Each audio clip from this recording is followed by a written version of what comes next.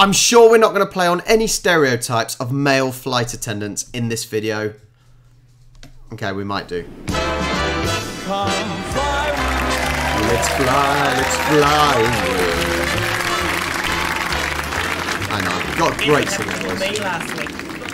What? Something so extraordinary, so amazing, so, so, so extraordinarily Warhol-esque that it'll haunt me till the rest of my days.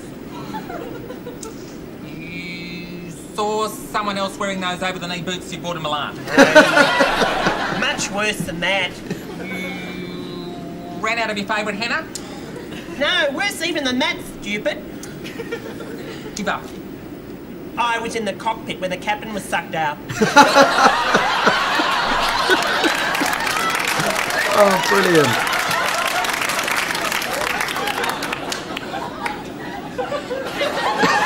The awkward silence. Yes.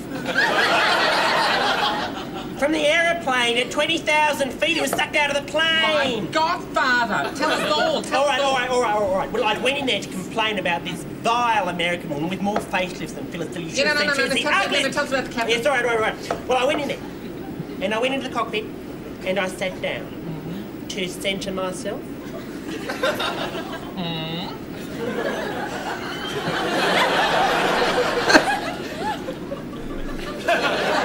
He's breaking. And inadvertently, I must have sat right down on a lever. I didn't notice. Um, because suddenly, suddenly, before you could say Peter Allen, there was this almighty, this almighty rush into a whoosh of wind, and all I could see was the captain's buttocks flying above my face. Godfather. No, fortunately though, all my training and all my instincts came to the fore, and I grabbed him in a vice-like grip. Now, is this before or after he's gone through the windscreen? He's well and truly stuck out by this stage. The only thing between him and infinity was my grip, Daryl. My vice-like grip. Oh, I can still hear him screaming. Yes, screaming above the deafening roar of the jet engine. Screaming was oh, it's still haunting me even as we speak. What was he saying? Release your grip! Release your grip!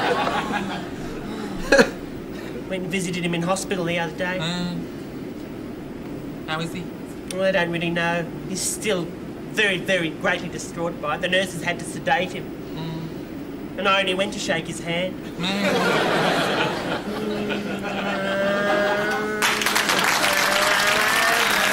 Wow. Just incredible. Uh, playing up to all stereotypes, the, the over dramatic, the uh, just the, the, the mannerisms. Just so funny. So, so funny and so stupid at the same time. I love the play on words. I sat on the stick but didn't realise. You've got to let your mind go, really, I think, on that one. Anyway, that was a quick one for Day. Thank you so much for watching. Make sure you like and subscribe, and I will catch you next time.